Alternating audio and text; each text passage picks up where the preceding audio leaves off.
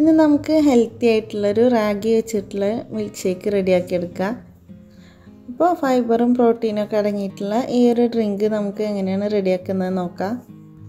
ഇത് റെഡിയാക്കാൻ വേണ്ടിയിട്ട് നമുക്ക് രണ്ട് ടേബിൾ സ്പൂണ് റാഗിപ്പൊടി എടുത്തിട്ടുണ്ട്. അത് നമുക്ക് കുറച്ച് വെള്ളം ഒഴിച്ചിട്ടൊന്ന് മിക്സ് ആക്കിയിട്ട് മാറ്റി വെക്കാം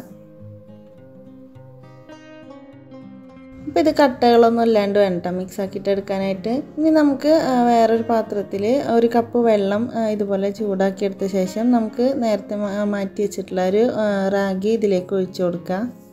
ഇനി ഇത് ലോ ഫ്ലെയിമിൽ ഇട്ടിട്ട് നമുക്കിതൊന്ന് കുറുക്കിയെടുക്കാം.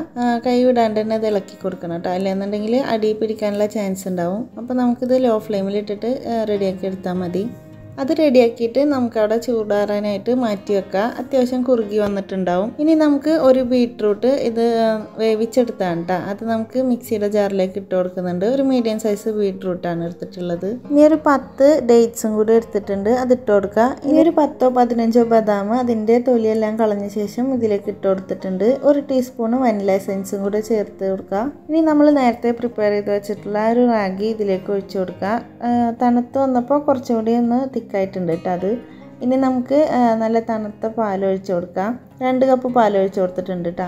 ഞാൻ നോർമൽ മിൽക്കാണ് എടുത്തിട്ടുള്ളത്. നിങ്ങൾക്ക് വേണമെന്നുണ്ടെങ്കിൽ ആൽമണ്ട് മിൽക്ക് അല്ലെങ്കിൽ സോയ മിൽക്കും എടുക്കാം. അപ്പോൾ ഇത്രയും ചേർത്തിട്ട് നമുക്കിതൊന്ന് അടിച്ചെടുക്കാം. ഇനി നമുക്കിതിലേക്ക് വേറൊരു ബൗളിലേക്ക് ഒഴിച്ചു കൊടുത്ത ശേഷം നമുക്കിതിലേക്ക് കുതിർത്തി എടുത്തിട്ടുള്ള കസ്കസ് ഇട്ട് കൊടുക്കുന്നുണ്ട്.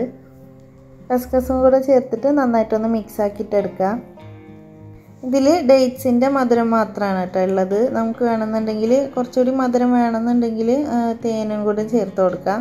നോർമൽ മധുരം ഉള്ള കാരണം ഞാനിപ്പോൾ തേന് ചേർത്തിട്ടില്ല. അപ്പോൾ ഇത്രയേ ഉള്ളൂ. വളരെ സിമ്പിളായിട്ട് റാഗിയാണെന്ന് ഒട്ടും മനസ്സിലാവാത്ത രീതിയിൽ പെട്ടെന്ന് റെഡിയാക്കി എടുക്കാൻ പറ്റിയിട്ടുള്ള നല്ല ഹെൽത്തി ആയിട്ടുള്ളൊരു ജ്യൂസാണ് കേട്ടത് അപ്പോൾ എല്ലാവർക്കും ഈ ഒരു റെസിപ്പി ഇഷ്ടമായിട്ടുണ്ടാവുമെന്ന് വിചാരിക്കുന്നു. എന്തായാലും എല്ലാവരും ഒന്ന് ട്രൈ ചെയ്ത് നോക്കണേ.